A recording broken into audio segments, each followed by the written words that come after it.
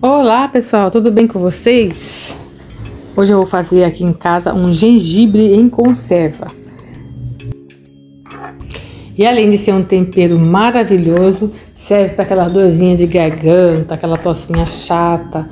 É uma maravilha, gente.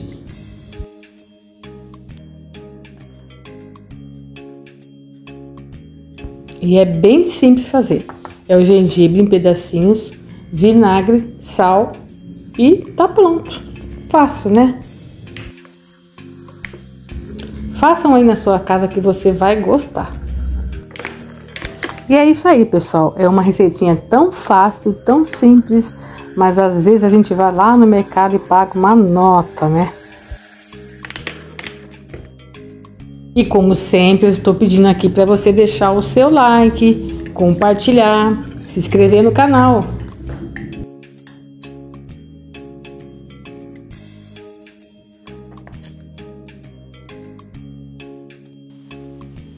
Aqui em casa o pessoal gosta até que eu coloque uns pedacinhos de alho. Também fica muito bom.